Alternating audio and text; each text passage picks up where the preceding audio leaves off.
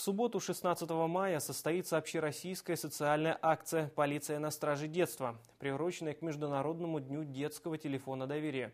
Ее цель – помочь детям, оказавшимся в трудной жизненной ситуации. С 10 до 16 часов по телефону 40 67 56 будут приниматься звонки, связанные с проблемами несовершеннолетних. Обратившихся проконсультируют, а при необходимости и примут меры реагирования в соответствии с действующим законодательством. Советы дадут специалисты из подразделений отделений по делам несовершеннолетних, правового обеспечения, психологи, представители органов управления социальной защиты населения, образовательных организаций, общественных объединений. Каждое поступившее на детский телефон доверия обращение будет принято к рассмотрению.